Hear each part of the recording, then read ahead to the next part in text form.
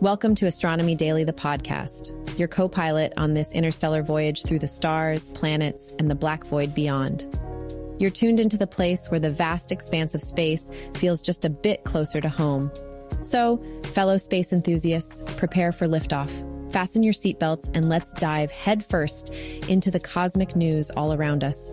Join me as we chart a course through the latest developments in astronomy and space exploration there won't be any light years between us and the universe as we bring the wonders of space right to your ears. Let's begin our journey across the cosmos. Here we go. The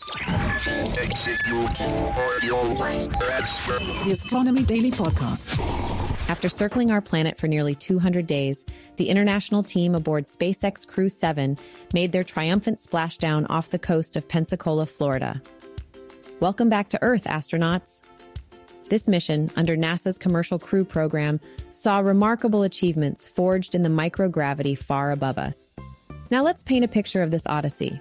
Picture four individuals from different corners of the Earth NASA's Jasmine Moghbeli, ESA's Andreas Mogensen, JAXA's Satoshi Furukawa, and Roscosmos's Konstantin Borisov. Together, they've traveled an eye watering 84 million miles, completing over 3,000 orbits around our home planet. Imagine watching sunrise and sunset 16 times a day. This was their life for 199 days. This mission was more than just a record long spaceflight, it became a beacon of international unity, bringing together expertise from USA, Europe, Japan, and Russia. Their cooperative spirit didn't just keep them going, but also pushed the boundaries of what we thought was possible in space. Single spacewalks during this mission felt like small steps at the station, but were giant leaps in how we maintain our space outposts. And oh, the science. These intrepid explorers didn't just gaze at the stars, they were hands on with hundreds of experiments. Growing food in orbit? Check. Studying the human response to long duration spaceflight? Check.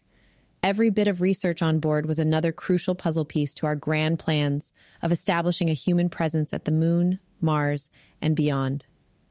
SpaceX's Dragon spacecraft, the sturdy vessel named Endurance, has completed its third mission, but it's not taking a break. After a pit stop at Cape Canaveral for a little TLC, Endurance will set off again, ever the reliable space taxi. This safe return fires up the engines for NASA's explorative vision, reminding us that our species' quest among the stars is a truly collaborative endeavor.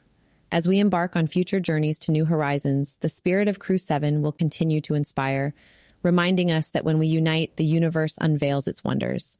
In the cosmic wilderness, far from the comforting glow of our own sun, an astronomical drama unfolds in the galaxy NGC 3799, about 16 million light years away from Earth.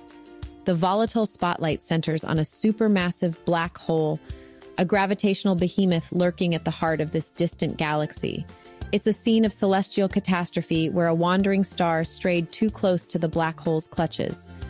What followed is both brutal and illuminating.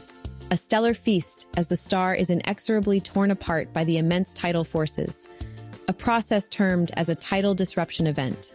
This cosmic phenomenon is akin to watching Mother Nature's own horror show, but through the chaos and destruction, it delivers valuable insights. Witnessing a star's death spiral into a black hole offers astronomers a rare opportunity to study these enigmatic giants, whose whispers echo through the fabric of spacetime and whose appetites shape the evolution of galaxies.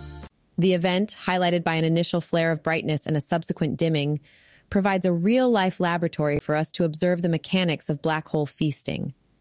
The doomed star's final moments send shockwaves of X rays and light across the cosmos a signal that triggers our telescopes and fuels our understanding.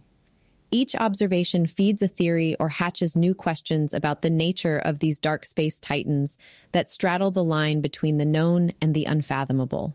Supernovas may be the common birth cries of stellar mass black holes. These smaller siblings of the supermassive variety are impressive, yet mere shadows of their gargantuan cousins that weigh millions to billions of times more than our sun. Supermassive black holes like the one in NGC 3799 are critical to the dynamics of galaxies. They are at once architects and destroyers, and their origins are still cloaked in mystery. So, what does it mean for us, the onlookers from a distant world, when we see a star being dismantled piece by piece? It means we're one step closer to unlocking the growth patterns of black holes. This event, observed as ASASSN 23 BD, with its exceptional proximity and uniquely energetic profile, could be a harbinger of newfound understanding. As researchers peer over the data, a narrative forms, painting a picture of a universe more dynamic and interconnected than we ever imagined. We must keep our telescopes trained and our minds open for these stellar feasts are not just distant spectacles. They're beacons that ignite the human spirit of inquiry, send our intellects chasing after the shadows, and push the boundaries of what we dare to comprehend about the monstrous yet majestic rulers of the dark, black holes. Picture this an astronomical titan in the Chilean desert, a single dish stretching across 50 meters, like a giant ear tuned to the whispers of the universe. Welcome to the vision of AtLAST, the Atacama Large Aperture Submillimeter Telescope. A gigantic leap forward is proposed, one where we could dissect the universe's most guarded secrets in radio waves. While we've marveled at arrays like ALMA, their limitations have astronomers dreaming bigger. The collective urge now is for a single vast dish, a behemoth capable of picking up signals that interwoven setups can't focus on as sharply. A single large dish like AtLAST could capture details with a precision and depth that we've only imagined. From the fingerprints of distant galaxies to the life story of individual molecules, all laid out in the dialect of radio frequencies. But why radio waves, you might ask? It's the language in which a lot of the universe's most intriguing information is transmitted, especially when it comes to the colder or more energetic corners of deep space. Current telescopes have limitations. Their smaller apertures drown in noise, obscuring the extreme features only larger single dishes can clearly unveil. AtLAST would not just be any ordinary large aperture radio antenna. Its 50 meter single dish design promises a max field of view of 2 degrees, providing unprecedented mapping speeds for extensive cosmic phenomena. And whereas current large dishes give us tantalizing glimpses, AtLAST aims to fling open the cosmic curtains wide, allowing us to peer at the peak of galaxies' spectral energy distributions or the intricate contours of interstellar medium with newfound clarity. This proposal isn't just about technological bravado, it's a meticulous blueprint, a detailed plan oozing with the potential to affect a multitude of scientific endeavors. The hope is that AtLAST could survey the entirety of our Milky Way, scrutinize protoplanetary disks, and even chase down the elusive signatures of complex organic molecules those cosmic breadcrumbs potentially leading us to the origins of life. And while the challenges are as steep as its proposed location, AtLAST is an embodiment of the scientific community's ambition, a facility designed to endure, adaptable, and driven by renewable energy. A testament to our ever reaching quest to comprehend the great tapestry of the cosmos. As astronomers look ahead to potentially break ground by the end of this decade, the Atacama Desert might just become our window into the cosmos's grandest tales, a cathedral dedicated to the heavens, where the universe's most ancient lights are finally untangled in the submillimeter range. In the cosmic dance of space discovery, AtLAST is more than just a step, it's a daring leap. And for all of us who gaze upward, yearning to understand what's out there, it is, quite literally, a vision for the future. Roscosmos and CNSA are leaping forward with an audacious vision that could light up lunar exploration in ways we've never seen before. They're talking nuclear, a nuclear reactor, to be precise, on the surface of the moon. Their goal?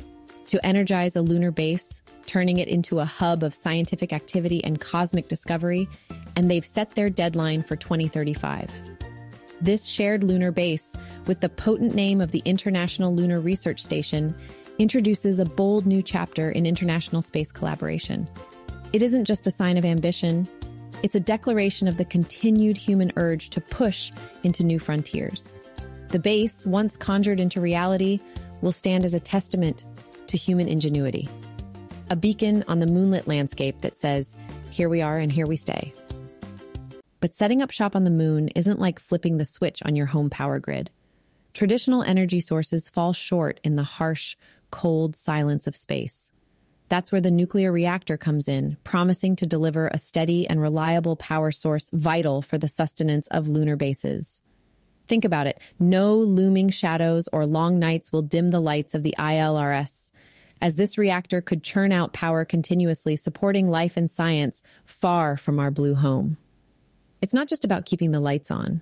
This nuclear reactor is envisioned to be fully automated. Picture this machines building and managing a powerhouse on another world a scenario plucked from science fiction becoming science fact. The technologies needed for this task are reportedly nearing readiness, and that's huge. It implies a leap in our robotic capabilities, hinting at a future where humans and machines tackle the cosmos hand in robotic hand. And before you ask, no, NASA astronauts likely won't be swinging by. Political tides on Earth ebb and flow, and right now they're drawing clear distinctions in the lunar dust. Nevertheless, this project between Russia and China invites us to dream of what's to come. Lunar bases humming with the silent song of nuclear power, propelling humanity into a future as boundless as the night sky. The Space Launch System, or SLS for intimates, NASA's behemoth rocket meant to escort humans beyond Earth's stratosphere and onwards to the moon, is evolving just picture a caterpillar unfolding into a lunar soaring butterfly. This isn't just any butterfly, though. It's the SLS Block 1B, the upgraded sibling in the SLS family, and it means serious celestial business. Imagine the SLS Block 1, the beast that propelled Artemis 1 into the firmament. Now amplify that vision. SLS Block 1B is set to make its grand debut with Artemis 4, boasting beefier configurations to shuttles us further and faster into space's vast frontier. It's a clear statement. NASA's not just dabbling in lunar visits, it's crafting a highway of rockets designed for consistent, ambitious moonshots. John Honeycutt, the SLS program manager, has put it plainly, accentuating how SLS was congenitally fated to morph into heftier versions, capable of launching more audacious missions to not only the moon, but the far reaches of our solar system. Their blueprint's been clear start strong, then reach for the cosmic shores built upon the triumphs of their Artemis predecessors. And gather round tech enthusiasts, because we're not just talking brawn, but brains too. The Block 1B's brainy boost comes from the Exploration Upper Stage, or EUS, loaded with four engines replacing the interim ICPS's solitary one. This is the celestial locomotive expected to keep us chugging along for the first eight hours post launch. That's like comparing an energetic sprint to a marathon. The stakes just got higher. And when you peer into SLS Block 1B's toolkit, you'll find a universal stage adapter, bigger than a city apartment, to fit payloads. Dream bigger think gateway modules for an orbital lunar outpost. It's a clarion call, beckoning to the days of building in moon orbit, gear by gear, creating layovers for astronauts en route to lunar surfaces. Payloads, those precious cargoes of lunar dreams, get a hefty heave ho too, soaring from 59,000 pounds to a whopping 84,000 pounds. That's equivalent to hoisting more than six adult African elephants straight out of Earth's gravitational embrace. Here's the cosmic cherry on top flexibility. SLS Block 1B ensures we've got windows wide enough to seize launch opportunities twice daily. We're talking about a logistics revolution, a streamlined path to orbit, and joyrides to the moon dance with more grace and less weight. The vision NASA is casting before us is clear as starlight. This agency is not just stepping on the gas, it's charting paths, constructing ladders and highways among the stars, set to land the next echelons of intrepid explorers upon our cratered neighbor. So when we think of NASA's Artemis expansion, it's more than a rocket. It's the heartbeat of a program, a pulsing symphony of science, exploration, and human aspiration. With SLS Block 1B's powerful allure, NASA is pushing us to ride the fiery chariot, carving a trail that solidifies humanity's place amidst the timeless waltz of the cosmos. And just like that, our cosmic journey together across the expanse of space wraps up. But fret not, fellow stargazers, for our shared curiosity is a star that never burns out. To keep fueling that wonder, head over to astronomydaily.io. It's the hub where you can dive into the archives for all our past episodes. Craving more celestial news? Sign up for our daily newsletter, where we distill the vast universe into a digestible payload delivered straight to your inbox. And if you're looking to connect, send a message our way. We love hearing from the community. The cosmos is brimming with mysteries that beckon, stories that stir the spirit of exploration. So keep your eyes on the skies and your ears tuned to Astronomy Daily, the podcast. Until we embark on our next stellar quest, clear skies and Godspeed. The Astronomy Daily Podcast.